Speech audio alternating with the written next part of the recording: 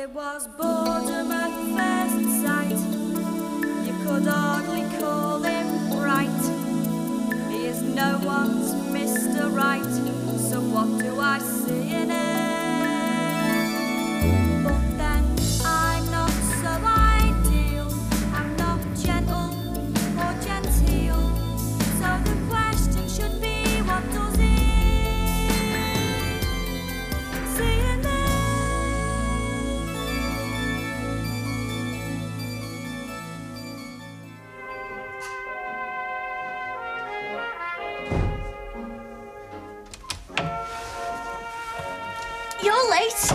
In the doctor's. Again? Fancy him, do you? He's at least twice my age. Can't be. Sure they have to retire at 90. hey, you could do with getting yourself a season ticket for that place. You're there every week. What's up this time? I'm run down, he says. Oh, look at me here. You know, in the evening when you make the supper and you always let the milk boil over and the pan's an horrible mess. My skin's like that. I wouldn't worry about it, Pamela. No one notices. They never get that close because of your halitosis. Oh, have I? No. Hey, but it's a thought. I might help you get shut of old Sydney. Run down. All that training, that's all he can come up with. Yeah, but we know the real reason, don't we? Do we? Snidey Sydney, the Frodsham ferret. I mean, you never used to be a member of Waiting Rooms Anonymous. It's only since Cluffy started getting onto you, if you pardon the expression. So you agree then? What? That it's work that's making me ill? Oh, well, sort of. I You're mean, quite it's- right. I'll just have to pack it in. Hang on, Pamela. I No, you're say- right, Brenda. All my problems come from being stuck all day with that whinging rat bag. Hang about, Pamela. I've told you, it's not that easy to find another rat bag. I mean, job. Look, you don't have to leave. Just warn him that if he doesn't lay off, you'll be forced to let Mrs. Clough know that her husband's idea of overtime begins with his left leg. It never went that far. Oh, I believe you, sis. But his intentions were 100% that way. No, I've just got to get away from that place. Hey, well, why not just take a holiday for now? Well, I could do, I suppose. I've still got ten days left of this year's. Well, there you are then. Go abroad for a week. Could try Lourdes.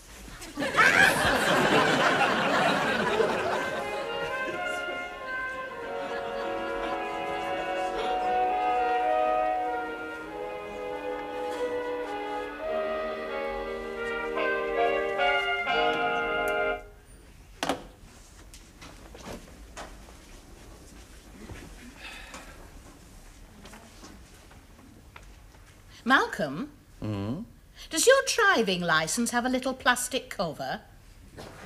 Yes, why? Well, there's a job here for a van driver, but your licence must be clean. Mother, it means no endorsements. Then why don't they say so? And have you Have I what? been endorsed? No, look, there'll be hundreds of people applying for a job like Here, that. hold on, hold on. Here's one. Clean kitchen and fridge essential. Well, that's no problem. To do what? Peel shrimps at home. Mother, Warings haven't closed yet, and when they do, I'll be in line for a transfer to mod shops. Who says? Terry. Him? Oh, I'd be very dubious. Didn't you say he's from Hemel Hempstead? Yeah. Enough said. You forget, Malcolm, you've no qualifications. What was a shrimp peeler? As anything. I just think of all those little books of revision aids I bought you. That was 15 years ago. I know if you never looked at them. Told you at the time they weren't relevant. We weren't even doing Troilus and Cressida. Neither of them. No. and what's more, you can't get an O level in origami. Well, your father was very good at French. Ah, here we are. Tele-salespersons required. Outgoing personality and ability to communicate in the Widnes area. That's asking a lot. Yeah, there's a telephone. there's a telephone number. Oh, yes, you're right. It is a telephone number. Well, Mother, there's no point. I mean. Oh, hang on. This one looks quite good. Kissogram staff required. It will be considered an advantage for applicants to have A, their own fishnet stockings and suspender belt, and B, the ability to handle a medium sized python. Hmm? Malcolm, you don't seem to realise the serious position you're in. I mean, just what are you good for? Watching birds and tinkering with ancient motorcycles. Could you possibly think of a more useless combination? Let's see. Yeah, a 150cc Coventry Eagle and a Gerard sidecar. That's a pretty useless combination.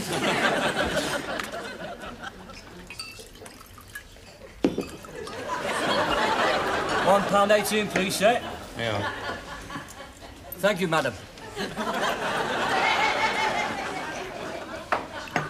I'll tell you what we haven't played for a while. People watching. People watching. Did you know who we've never done? Harold. I'll tell you, we've never done Harold. That's true. So what do you reckon then? Ex-army. Regular or Salvation? Both. He was the first soldier in the Formby Fusiliers to have his rifle fitted with braille sights. Formby Fusiliers. Thanks to Harold, they were disbanded. Shortage of personnel. He shot everybody. Right. so, filled with remorse, he joins the Salvation Army. Ah, I like it. How'd he get here then? Ah, well, one day he was playing his euphonium on Lime Street. Better when- still, one day he's selling the war cry and the grapes and Oh, yeah, of course. He couldn't, find, his way, out. I hate to admit it, Malk, but you're becoming almost as good a people watcher as I am a bird watcher. almost. Because you've got a much better teacher than me. Don't push it, Stoneway. You'll have one more broken nose than me as well. Lager and stout, please.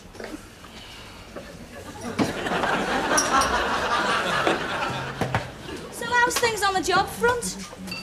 I don't know what to think.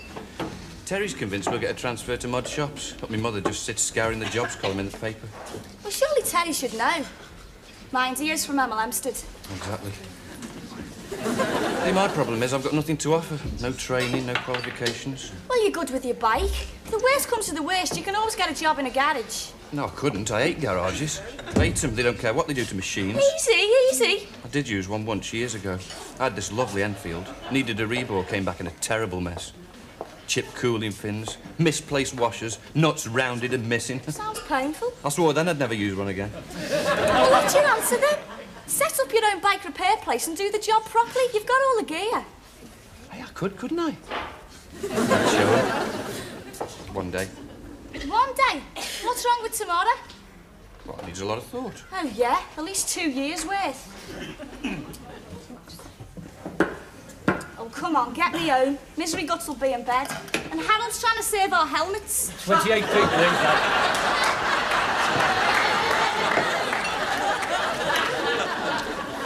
Pamela's still having problems, is she? Oh, yeah. Depressed about her work, her future, her appearance. It's like living with the elephant man.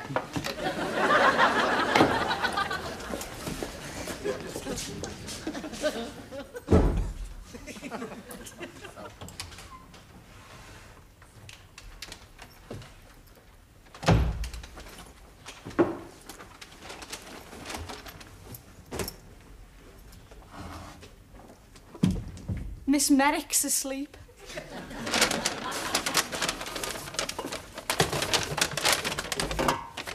This must be hers then. Yeah. For weekdays, she wears a Sainsbury's on Sunday. Oh, we've been horrible, aren't we? You're being honourable. I'm being normal. I have to live with her, remember, and a right pain she is. If she wasn't my sister, I wouldn't be so tolerant. I'd take me Woolies vegetarian cookbook and go and sponge off somebody else. Anyone in mind? Maybe. Suppose we could take her out. You've got a nerve. Telling me you want to take my sister out. I think I preferred you when you were all wet and wimpy. I don't just mean me, I mean we, both of us. Oh, yeah? And play Guess Who's a Gooseberry? No, you'd win every time. What about foursome? Well, I know she's a big girl, but she still only counts as one. Got it. Jumpers. Is it catching? No, it's a club in town. Now that we're part of the Mod Shops group, I've got free membership. Could go there. Very nice. And me and Pam can wave at you through the window. Now, each member's allowed one guest. Oh, I see. And you want to take Pam? Don't be soft. I'd take you. If Pam's busy, that is. Are you looking for a thick lip? Yours will do. Get off. Hey, Malk. This place jumpers. How do you know what it's like? Me? Oh, no, no. Terry was telling me about it. He says it's great because there's lots of unattached, uh, lots of nice girls. People. I'm not sure it's right to let a young, impressionable ornithologist loose in a place like that. I'll be good, promise. Yeah, you always are. But we're still left with the PPP, I know I'm going to wish I'd never asked this, but go ahead. Pamela's partner problem. Unless. Yeah. Oh, you wouldn't. Uh, she wouldn't. Nah. You don't mean it, Malcolm. yeah, why not? Three reasons. One, I don't like her. Two, I don't like her sister. Three, I don't like the pair of them. What about me? You're all right, but you can't dance. Not me for the sake of our friendship, as a mate. Malcolm, you're just not my type, but thanks for the offer. Terry, be serious. They're okay, really. It could be a good evening. You're joking. Oh, come on. Pamela's having a tough time with Fluffy. She's finished with him and she needs to get back into circulation again. Look, Mal, it's nothing personal, but I've got a reputation to keep up. Many of my groupies see me stuck with a scally like Brenda or a front what? sister. You big head. Right, that's it. Oh, Mal, look, don't misunderstand me. Mousy, Mousy, look. It was a joke. I, I was mucking about. So you come then? Yeah, Great. Perhaps it could be fun. Brenda, you cannot be serious. But I am, Miss McEnroe. oh, come on, why not? Three reasons. One, I don't like him. Two, I don't like discos. And three, I still don't like him.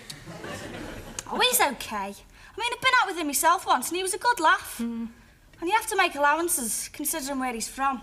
Hemel Hempstead. Oh, come on, you've got nothing to lose. Have you? You and I both know what my problem is. And an evening having my eardrums perforated by some screwball jock who wouldn't know a good disc from a slip disc isn't going to help. Ah, now that's where you're wrong. Because this is a new kind of club where people are allowed to talk to each other, you know, with words and everything. It's fitted with the very latest disco equipment so that if the volume gets too loud, the DJ is automatically electrocuted. You lie. No, it's true. I swear on Auntie Bessie's grave. We haven't got an Auntie Bessie. It's a figure of speech. Oh, come on, Pamela. You sit in front of that telly every night like one of the living dead. You're becoming a zombie. Discos just aren't my scene. Feel out of place. Oh, you won't feel out of place. Look, if it makes you feel better, I'll get him to do the Michael Jackson Thriller video. Cow. No, I don't know. I shouldn't let him get me down, should I? No, you shouldn't. Mind, I couldn't go out even if I wanted to. The condition my skin's in. Of course you could. So that's settled then. Such a mess. Come here, let's have a look. Anyway, it'll be dark.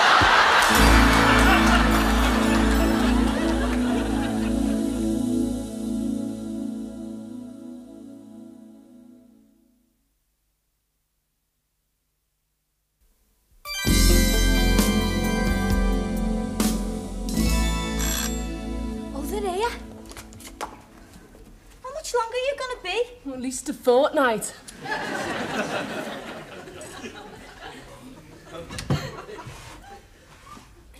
What do you look like? Butcher? Take your seat. hey, not there. You'll clash with the wallpaper. Pam's not quite ready yet. She's finishing with a coat of non-drip emulsion.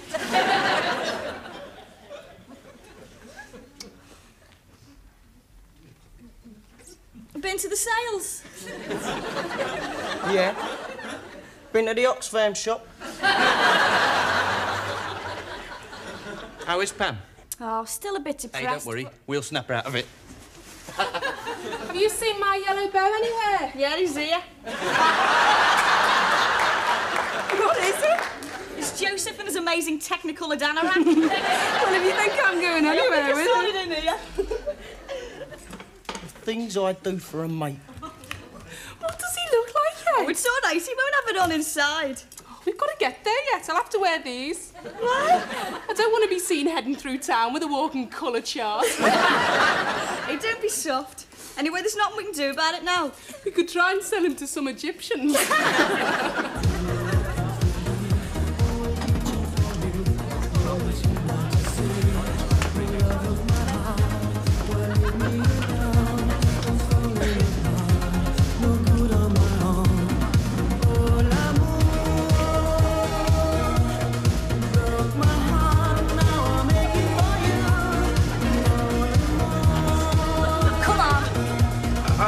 very well. Well, we'll just dance then.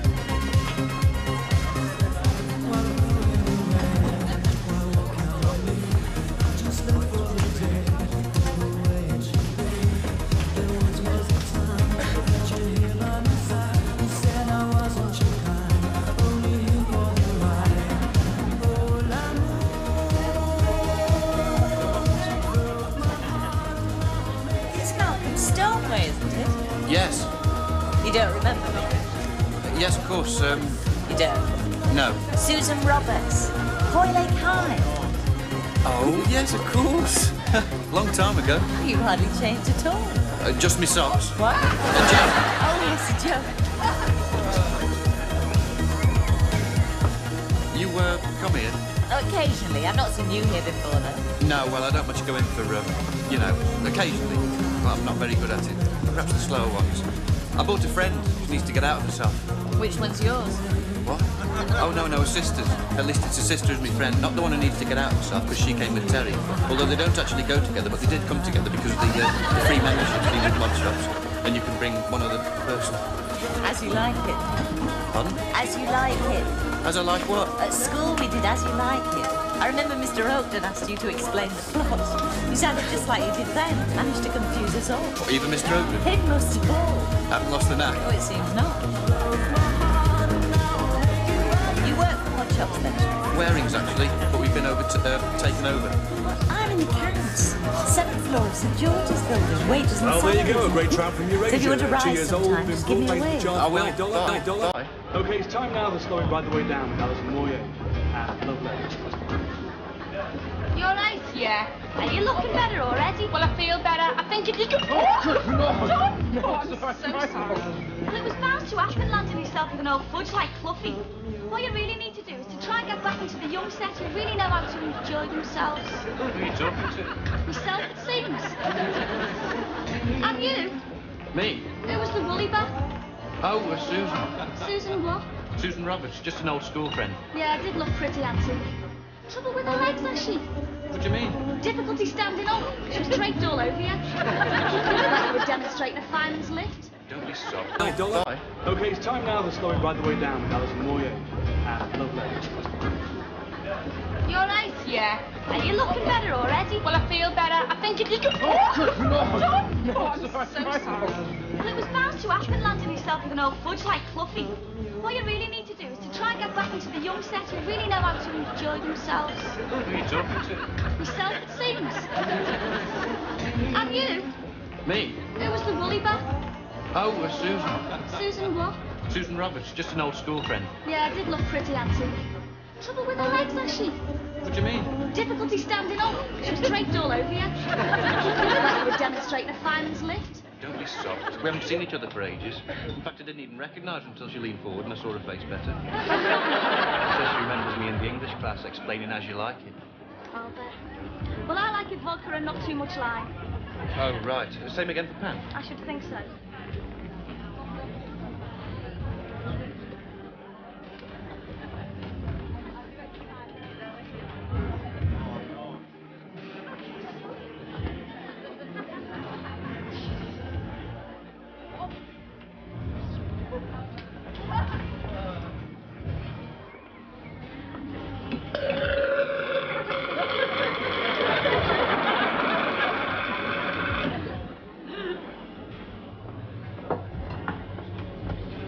Again. Hi. We must stop meeting like this. The log has run out. Aren't you going to chase it? No.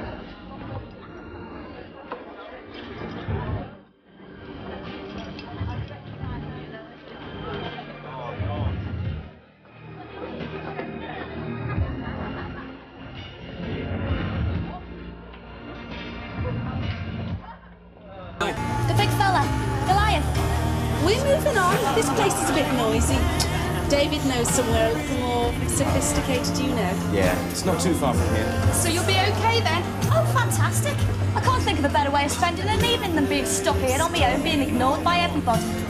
I'm like a condom machine at a Cliff Richard concert. I'm talking to someone.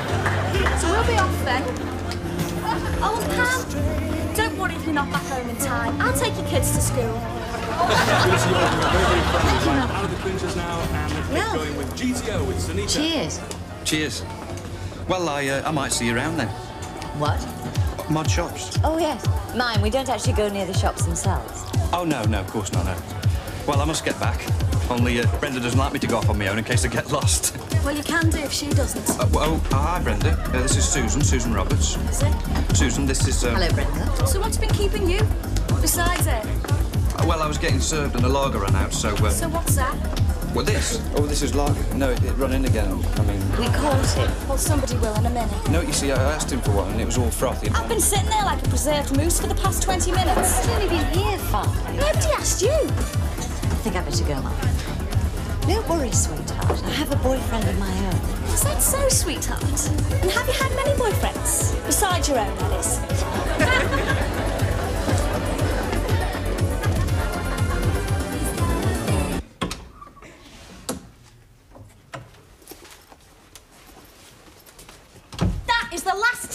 the very last time I ever put myself out for you lot. So much for being caring and compassionate. Maggie's dead right. You get no thanks for it. Here's me organising a night out for three workers who might be losing their jobs. Hold on, hold on. It wasn't like that at all. Don't you interrupt me when I'm ranting. and what happens? I'm left sitting on my own while the rest of you are copping off with the dregs of Merseyside. Look, Terry just met some old friends and Pamela, well, the bloke she was with seemed very nice. Oh, sugar daddy David. He's just another cluffy without the lock on his wallet. No, I think you're forgetting the purpose of the evening was to get Pamela back into circulation again. On that score, it was a great success. Oh, was it? And what about your score? What? With Susan Rabbit. Susan Roberts. And I've told you, she's just an old school friend. Actually, she works for our firm, you know. And what's she doing in a gents outfitters? No, let me guess. She works for Mod Shops. They've taken us over. I'll bet. And she happens to be a very nice girl. Like hell. I bet that big bunny's been round more fellas than your tape measure. Oh, do you really think so? Too right. Oh, interesting.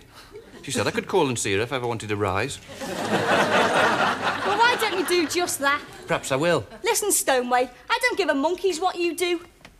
This has been the most disastrous evening since. since. since the last time I went out with you. And stop grinning. No, don't. You know, use this one. That'll go all over the place.